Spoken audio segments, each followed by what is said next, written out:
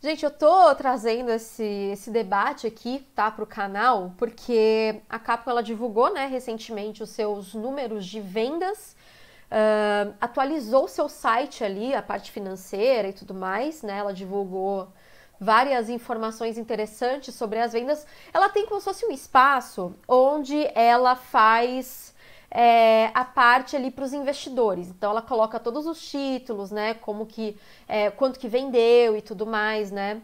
E ela faz de um jeito que realmente causou um pouco de confusão e causou o quê? Treta, né? Porque assim, o fã de Resident Evil ele treta hoje por qualquer coisa, né, gente? E aí, eu postei essa notícia aqui ontem lá no nosso site, né? Baseado no relatório da Capcom, né? Que é esse Platinum Titles aqui, que é o relatório oficial de vendas da Capcom, né?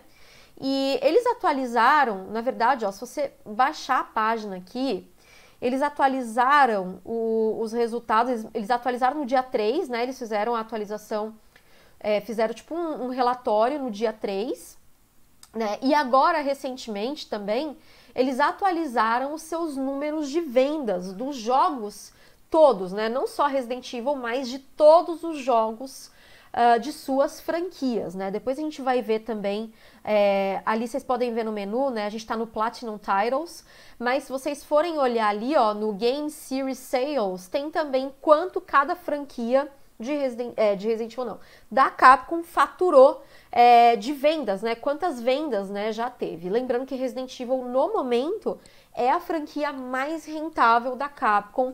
Eu não sei se outra franquia vai bater os números. Talvez Monster Hunter um dia, porque Monster Hunter é um verdadeiro fenômeno, mas por enquanto Resident Evil segue o campeão. Bom, o que, que aconteceu, gente? Eu postei essa notícia aqui no nosso site, né? Eu vou ler rapidamente a notícia aqui para vocês, para vocês entenderem um pouquinho e depois eu vou explicar, tá? Mas a Capcom ela atualizou e revelou seus números de vendas dos jogos, acrescentando o resultado dos primeiros meses de ano fiscal da empresa, uh, considerando as suas vendas até 30 de junho de 2020. E o destaque desses números ficou por conta do 7 ter se tornado o Resident Evil mais vendido em uma geração, tornando-se o segundo título mais vendido da história da empresa, com 7,9 milhões, 7,9 milhões de unidades. E esse número deve aumentar agora também com a proximidade do lançamento do Resident Evil Village, ou a gente pode chamar de Resident Evil 8 também, tá, gente? Não tem problema, eu não, não vou brigar se você chamar de Resident Evil 8, porque, né, é o Resident Evil 8. No fim das contas, é o Resident Evil 8 e a curiosidade em ver o início dessa nova história que vai vir, né, gente? E é importante reforçar que o Monster Hunter, como vocês podem ver aqui, ó, vou mostrar aqui na página do Platinum Titles, tá vendo? Ele foi lançado em janeiro de 2018 para PS4, Xbox One, PC. E esse DL aqui são versões digitais, ou seja, tá causando é, tanto vendas físicas quanto as digitais também, tá? E aí tem 16,1 milhão de unidades, milhões de unidades, né? Então é, ele já tá, eu acho que inalcançável. Eu acho que os números do, do Monster Hunter já estão assim, inalcançáveis, tá? E aí, é, esse número, ele já é o jogo mais vendido, porque assim, ele foi lançado a partir né, da, da, geração PS4, Xbox One, PC, não sei o que, downloads, né? E ele vendeu esse número para uma geração. Então, assim, a Capcom ela tá fazendo essa separação, ela sempre separa as vendas dos jogos por geração. Então, por exemplo, por que, que o Resident Evil 7 está com 7 milhões de unidades físicas barra digitais? Porque ele foi lançado para uma geração, por enquanto, né? PS4, Xbox One e PC. Existe também o Resident Evil 7 versão streaming para o Switch, mas eles não vão considerar aqui porque é um formato totalmente diferentão e de qualquer forma eles não iam considerar, né? E aí você pensa assim, tá, mas o Resident Evil 5 ele tem um monte de porte. Só que a Capcom, na hora que ela colocou no Platinum Titles, eu vou até mudar aqui a página para vocês, para vocês verem. Na hora que ela colocou o Platinum Titles aqui, ó, tá o Monster Hunter em primeiro lugar, depois Resident Evil 7 em segundo lugar, como Resident Evil mais vendido. E aí tem o Resident Evil 5 e o 6, né? Como vocês podem ver aqui, tá? E o Resident Evil 5, ele tá com 7.7 milhões de unidades vendidas para PS3, Xbox 360 e versões de download, ou seja, versões digitais. Por quê? Não tem versão de PC, porque a versão de PC foi porte. Não tem a versão de PS4 aqui, por quê? Porque ela foi porte. Não tem a de Xbox One, por quê? Porque ela foi um porte. Então eles não estão considerando nem portes, nem aquelas versões Gold Edition. Então, por exemplo, ó, eu até coloquei na, na notícia aqui, ó. Note, eu coloquei até com um asterisco, tá? Como vocês podem ver. Note que as vendas de Resident Evil 5 e Resident Evil 6 equivalem às plataformas originais para as quais foram lançadas e não contam com os portes para plataformas futuras e nem versões Gold Edition. Então não está contando PS4, Xbox One, PC, Switch, não está contando. Por quê? Porque eles consideram a plataforma base para qual esse jogo foi lançado. Se você for contar os portes, com certeza o Resident Evil 5 é ainda o jogo mais vendido. Mas a Capcom separa. Ai, por que, que a Capcom faz isso? Não sei, amor, você tem que perguntar para eles, tá? Aí aqui eles separam entre de 10, é, os 10 primeiros, depois de 11 a 30, 31 até o, até o 50, 51 até o 70, depois do 71 até o 102. Então, se a gente clicar aqui, ó, o último lugar tá o Devil May Cry 3, Special Edition com um milhão de unidades, né? Eu acho que eles não colocam abaixo de um milhão, né? Então, jogos que venderam menos que isso, acho que eles não. Não sei se eles colocam, se eles não colocam, ou se eles não têm jogo que vendeu é, menos de um milhão de unidades, né?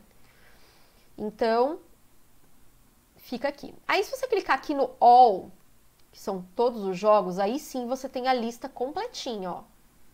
Tá vendo? Você tem a lista completinha. Então aí você coloca assim, ó. Você coloca assim. Resident Evil 5. Aí eles separam por Resident Evil 5 lá em cima, né, ó. Peraí. Resident Evil 5 aqui, ó, 7.7. Resident Evil 5 Gold Edition, né, 2.3. E Resident Evil 5 PS4, Xbox One e Download 1.8. Se você somar tudo isso, realmente vendeu mais do que Resident Evil 7, né? Porém, contudo, entretanto, a Capcom é a dona do, do jogo e ela sabe como ela vai separar os seus, uh, os seus, os seus jogos, né? Bom, Dito isso, aí eu fiz essa matéria aqui, né? Coloquei todos esses números e tudo. Aí nessa matéria, eu também coloquei que o Resident Evil 3 Remake, que é essa reimaginação de 2020, não superou o sucesso do jogo clássico, né? O Resident Evil 3 Nemesis, que vendeu 3,5 milhões de unidades só no PlayStation, né? E o Resident Evil 3 Remake, ele vendeu 2,7 milhões no lançamento para PS4, Xbox One e PC em abril desse ano. E aí, se vocês vierem aqui no Platinum Titles, ó, Resident Evil 3 Nemesis, eles nem consideram os portes também, ó. 3.5. E aqui, ó, Resident Evil 3, PS4, Xbox One, PC e download 2.7. Aí eles não estão considerando versão de PC, versão de GameCube, versão de, de, de Dreamcast, eles não estão considerando e, tipo, eu não posso fazer nada, né? E o próprio Resident Evil 2 é a mesma coisa também, tá? Eles estão considerando o console base. Então, aqui, ó, Resident Evil 2. A gente tem o Resident Evil 2 Remake, que vendeu 7,2 milhões de unidades para PS4, Xbox One, PC e versões digitais. E o Resident Evil 2 Clássico, para PlayStation, que vendeu 4,96 milhões de unidades. Eu não sei exatamente por que, que a, a Capcom ela não está é, ela não separou esses números, né? Porque ela não colocou, por exemplo, porque ela separou esses números, ela não colocou, por exemplo, uh, as, os portes talvez tenha vendido menos, né? Então, menos de um milhão, talvez por isso que a gente não tenha os outros portes de Resident Evil aqui, tá? Do, de GameCube, Dreamcast, PC, whatever, né? Para esses jogos clássicos, tá? E aí, o, uma coisa que eu achei legal destacar nessa matéria também é que o Alex Daniel, que é o CVX Freak lá no Twitter, é, ele é um fã muito famoso, né, de, de, de, Resident Evil. Ele sempre posta sobre a, a franquia lá. Cara, o CVX Freak, eu tenho lembranças do nome do CVX Freak naqueles facts que o pessoal fazia no games, que ele fazia em tipo um TXT, assim, com aquelas letras meio feitas em TXT, assim. Então era, era muito, muito incrível, né? E ele é um grande fã, ele está escrevendo um livro. Ele escreveu um livro para ser lançado muito em breve sobre a história da produção de Resident Evil, dos primeiros Resident Evil. Ele entrevistou Mikami, o Kamiya. Hoje ele trabalha na indústria de videogames também. Então, ele conhece essa galera toda. Cara, ele é amigo do Camille. O Camille me desbloqueou no Twitter graças a ele, tá? Olha a moral, né? E aí ele fez essa comparação que eu achei bem legal aqui. Ele fez uma comparação entre os números, é, o resumo do crescimento dos títulos, incluindo os portes, né, que contribuíram para os resultados atuais em comparação com o período anterior. Olha que interessante, né? Uh, o Resident Evil 5 para PS3 e 360 ele vendeu 100 mil a mais. O Resident Evil 6, é, é, isso comparado com o último período para agora, né? Também vendeu 100 mil a mais para PS3 e 360, o console base, tá? Para o Resident Evil 7, o Resident Evil 7 ele vendeu 400 mil, tá? De diferença, né, para o seu console base, né? Que é o, o, o PS4, Xbox One e o PC, né? E as versões digitais e tudo. O Resident Evil 2, que na diferença também de período vendeu 600 mil unidades a mais. O Resident Evil 3, porque não tem outro período de comparação. O Resident Evil 4, ele vendeu 200 mil unidades para PS4 e Xbox One. O Resident Evil 5, só nesse período, para PlayStation 4 e Xbox One, 100 mil também, tá? O Resident Evil 6 vendeu 200 mil unidades para PS4 e Xbox One, ou seja, vendeu a mesma coisa que o Resident Evil 4. A galera xinga o Resident Evil 6, mas por muito tempo, ó, nesse, nessa tabela aqui, que eu já mostrei para vocês, vou colocar lá no Platinum de novo. Olha a diferença entre o Resident Evil 5 e o Resident Evil 6, galera. Olha a diferença. 100 mil unidades de diferença. E eu acho que vai passar. Eu acho que passa. Eu acho que logo, logo o Resident Evil 6 vai estar no lugar do 5 e vice-versa. E eu acho que o 2, na verdade, vai ultrapassar os dois, né? E aí vai ficar entre. Uh, talvez um dia ou dois passe até o Resident Evil 7, né? Mas é que eu acho que o Resident Evil 7, ele cria essa curiosidade mesmo das pessoas verem é, a história que originou o 8, né? Então, por exemplo, eu conheço pessoas que estão jogando Resident Evil 7 agora depois do anúncio do Village. Então eu acho que. Eu não sei se o Resident Evil 2 um dia vai passar, mas ele vai ficar pau a pau com o 7. Né? Então uh, as pessoas querem entender onde vai começar a história do Village. Então eu acho que um dia uh, esse número do 7 ainda vai aumentar. Eu acho que ele tem, tende a aumentar agora, para o próximo período ele tende a aumentar bastante, porque esse número aqui, ele é até 30 de junho. Então, logo, logo, agosto, já vai ter novidade de, do Village. E a Capcom, ela sempre abre promoção. Inclusive, quando o Village foi anunciado, o Resident Evil 7 estava numa promoção de 70% de desconto. E isso também está colaborando muito. A Capcom até falou sobre isso recentemente também. A, a Capcom falou sobre o quanto ela tem investido nessas promoções, né? E aí a galera vai acabar indo comprar o, o Resident Evil 7 para entender. Eu conheço várias pessoas que estão jogando o 7 agora. Ah, não sei, eu tenho medo. E aí elas estão indo atrás do 7 para poder entender a história do Village, né? Então, tem isso, né? E aí, deixa eu ver uma outra coisinha que eu queria. Ah, sim, eu tava destacando, né, do Alex Daniel, né? E aí, ó, olha só que interessante, gente. O remake, Resident Evil 1 Remake, ele teve um aumento de 200 mil unidades vendidas. E o Resident Evil Zero de 100 mil unidades vendidas. Eu fiquei tão feliz pelo resultado do remake.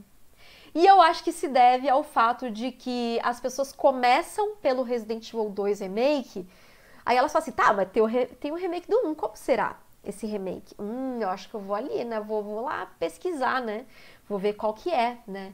Eu queria muito ter visto uma tabela de comparação dessas aqui. Eu não sei se o CVX Freak fez uma tabela de comparação desse jeito quando foi lançado o 2 Remake. O quanto que o remake do 1 vendeu.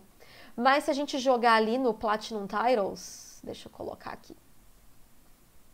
Uh, na tabela do Platinum Titles aqui, Resident Evil HD, não, Remake, Resident Evil.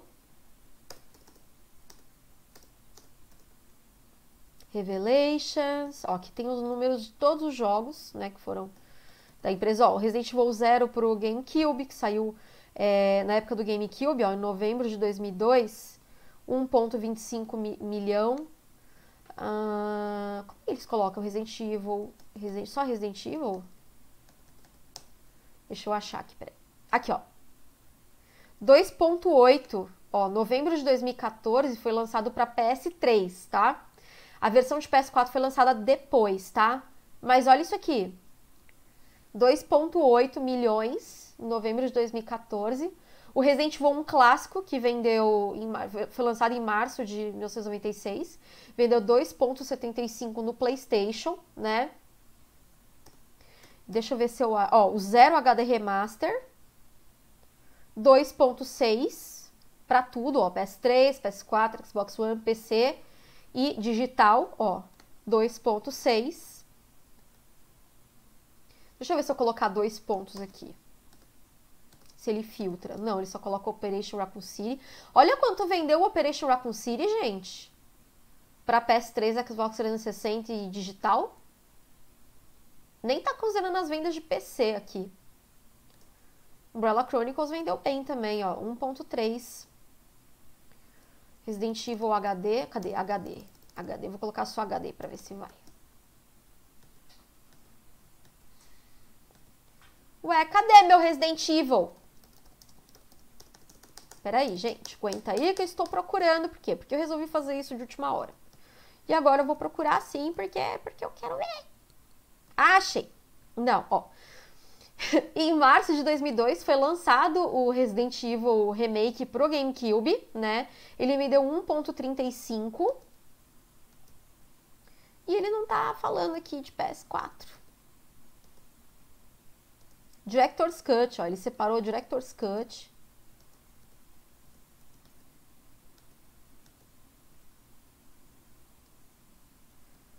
Tá, ele não tá contando os de PS4, olha que interessante isso, né? Ele só tá contando. Enfim, whatever, né? Mas eu fiquei muito feliz, gente, dele ter. deles terem considerado, as pessoas estarem considerando experimentar o remake do 1 para conhecer a o remake do, do, do, jogo clássico, né? O remake do primeiro jogo, né? Pra conhecer a, a história de origem, né? E o Zero também, cara. 100 mil, eu não sei se eles estão contando os Origins, né? Origins Collection na, na questão do zero. Porque do PS4, ele não tá considerando, né? É isso que eu achei estranho. Mas, enfim, né? De qualquer forma, eu achei bem interessantes esses números. E aí, um comentário que eu fiz aqui também na matéria do Resident Evil, das vendas de Resident Evil, é que o Resident Evil 7 ele teve um aumento de 400 mil unidades vendidas né, nesse período, que pode ser também por causa das vendas contínuas do próprio PSVR Além da curiosidade do Village, né, que a gente já falou, mas o PSVR, gente, eu não sou o público-alvo, porém muitas pessoas são. E a Sony, ela sempre investe muito em propaganda do PSVR. E toda vez que alguém compra o PSVR, eu acho que ela acaba comprando o Resident Evil 7 também. Então eu acho que o Resident Evil 7, ele é meio que um system seller para PSVR. Então eu acho que por causa disso também o 7 está tendo uma, um número muito bom, muito expressivo. É engraçado porque eu lembro quando o 7 é, foi anunciado, depois de um mês e tal, Parece que a Capcom tinha expectativa de vender 4 milhões e eles venderam tipo 3 milhões e meio. Eles, mas mesmo assim eles ficaram muito felizes porque eles falaram que eles não estavam investindo em Day One. Eles não estavam focando em Day One. Eles estavam focando em uma vida mais longa para o jogo de vendas, né? E isso eu acho excelente, porque eu acho que isso proporciona que o jogo chega ao patamar agora de ser o mais vendido dentro da sua geração. E isso é muito interessante, muito legal. Eu, eu acho bem, bem legal isso, né? E eu acho que uma coisa também que, que contribui é o número de jogadores para PC. Porque o Resident Evil 5 e o Resident Evil 6 só foram ter versão para PC depois. Eles saíram primeiro para console para depois sair para PC. E o 7 não, ele saiu para PC também. Então eu acho que isso também contribui. Eu não coloquei essa informação na matéria, mas eu acho que contribui também, né? Uh, e aí, para finalizar, gente, é, essa parte da matéria aqui, eu quero mostrar aqui para vocês a parte de Game Series Sales, né? A Capcom não, não faz muito tempo, ela divulgou que Resident Evil tinha atingido 100 milhões de unidades vendidas. E agora eles atualizaram né, essa lista de novo. Eu acho que foi até, até 31 de dezembro, se eu não me engano, ou até o começo de fevereiro, se eu não me engano, até o final de fevereiro. Mas agora eles venderam Resident Evil chegou ao patamar, ó, aqui, ó, de 103 milhões de unidades vendidas no mundo todo, tá? Claro que nesse número a gente não considera pirataria, né, gente? A querida pirataria. Por que não considera? Porque não dá dinheiro para a empresa, né? Por isso que a gente não considera. Então, né? Mas se fosse contar pirataria, cara, eu acho que duplicava, principalmente na era do PlayStation, PlayStation 2, né? Então, eu acho que ia passar, né?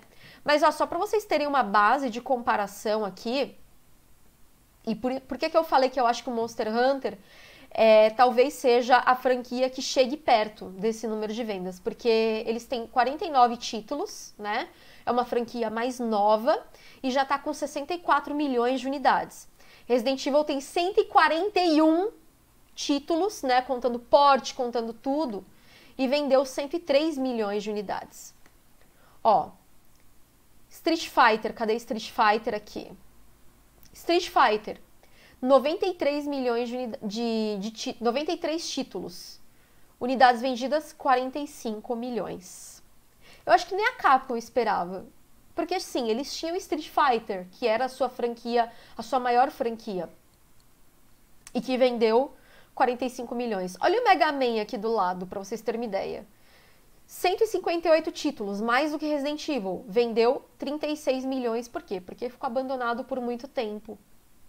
Mas é, é interessante ver, né, que as franquias de maior sucesso, né, os carros-chefe da Capcom por muitos anos foram essas duas franquias aqui. E depois Resident Evil se tornou uma franquia muito constante e chegou nesse número. E é uma franquia que, em sua essência, é de terror, né, gente? É um survival horror. Se perdeu no meio do caminho, se perdeu no meio do caminho mas está retomando, retomando seu fôlego ali, né?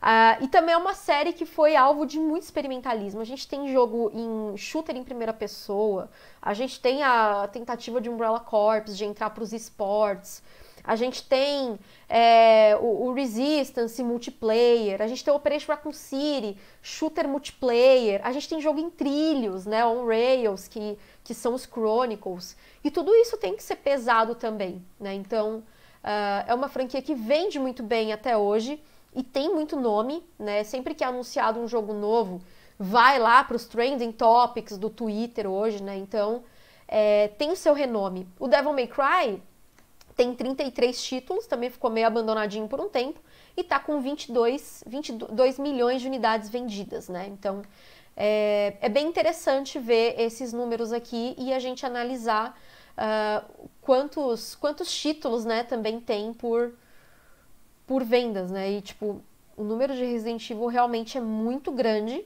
né? E por isso também que tem tantos, tantos números, né, de, de vendas. Mas eu acho que é um motivo para a gente comemorar esses números de vendas de Resident Evil. E eu até vou deixar uma pergunta para vocês é, depois me responderem, tá? Eu vi muitas pessoas reclamando que, na verdade, é o 5 que é o mais vendido, que isso é um absurdo, porque tem que somar tudo e não sei o quê. E assim, na verdade, a Capcom é a dona do jogo, ela faz do jeito que ela quiser, né, gente? Deixa ela, né? Do jeito que ela quiser, ela, ela faz ali o seu relatório, né? ela faz o relatório dela. É o meme do ela faz o relatório dela né? Então, fica ao critério da empresa como que eles vão separar os, as suas vendas. Eu, particularmente, prefiro o Resident Evil 7 como mais vendido dos Resident Evil. Porque eu prefiro que a Capcom invista mais em jogos no estilo do 7 do que no estilo do 5. E vocês? O que, que vocês preferem? Resident Evil 7 mais vendido ou Resident Evil 5 mais vendido? Eu, particularmente, fiquei muito feliz Dou os parabéns pro Resident Evil 7 e eu acho que a Capcom ela tá, ela tá mudando a sua, a sua forma também de vendas, então eles estão com uma estratégia bem mais agressiva de vendas. É, por isso também que eles estão vendendo muito melhor. Né? Eles falaram uma vez, eu não lembro onde, depois eu vou até procurar essa matéria, mas eles falaram sobre isso. Do quanto eles têm investido pesado em promoções para que as pessoas é, elas, elas possam adquirir o jogo né, em momentos de, de promoções ali, e isso também vai contar para que as vendas sejam muito maiores, tá, gente? E, né, é, esses são os nossos números atuais de vendas de Resident Evil. Muito feliz por Resident Evil ter vendido mais de 100 milhões de unidades. E isso coloca Resident Evil, a franquia toda, num patamar de franquias de videogames, né, gente? Mais vendidas, assim. Eu sei que Pokémon é a mais vendida, porque, tipo, é um absurdo, parece que já é meio bilhão, assim, de vendas, né? É um negócio muito assustador, assim. Já. Uh, ou já passou, cara, acho que já passou do bilhão, viu? Se eu não me engano.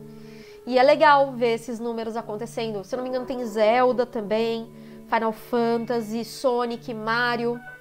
E agora Resident Evil está aí nesse, né, dentro desse bolo. Eu não sei se é o Mario ou é o Pokémon. Eu acho que é o Pokémon. A franquia mais vendida. Se eu não me engano, é o Pokémon a franquia mais vendida. Mas de qualquer forma, parabéns para Resident Evil que está, né, gente?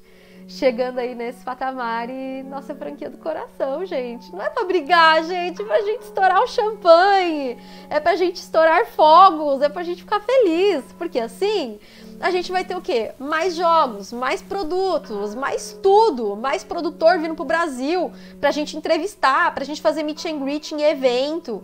E é isso, né? Isso é, é bom para todo mundo. Então parem de brigar por causa de número. Quem tem que ficar preocupada com o número é a Capcom. Nós fãs, a gente só tá ali, ó, só no cafezinho e é isso aí. É isso aí, gente. É isso aí. E eu fico feliz, fico feliz porque o survival horror está voltando, né? Resident Evil está voltando às suas raízes do survival horror. É claro que Resident Evil sempre muda porque é um produto do seu tempo, já falei sobre isso em uma outra ocasião. Então, é, é uma franquia que vai se renovando. Talvez se ela tivesse se mantido na mesma fórmula de sempre, não tivesse chegado nesse patamar que a gente tem hoje, né? Mas. Uh, são fases, fases da vida. Você também não tem umas fases meio complicadas também? Então, eu já tive, já tive, gente, eu já tive fase gótica. E de vez em quando até retorno meio pra ela, assim.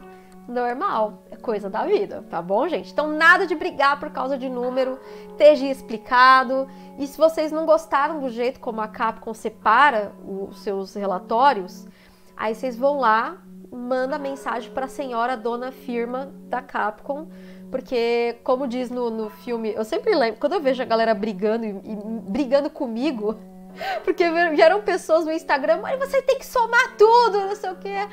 Daí eu, eu só lembro de uma, de uma fala daquele filme De Repente 30, que a secretária atende o telefone, né? E a, a moça a moça que, que a, a chefe dela é super odiada, daí ela fala assim: Calma, senhor, calma, senhor, eu sou só a secretária, eu não tenho culpa. Então, assim, calma, senhores, calma, senhores. Eu sou só uma criadora de conteúdo fã como vocês. Eu não tenho culpa, eu só tô noticiando do jeitinho que a empresa colocou no relatório dela, tá bom? Eu não decido nada, tá bom, gente? É, a gente tem que se explicar, né, gente? É isso.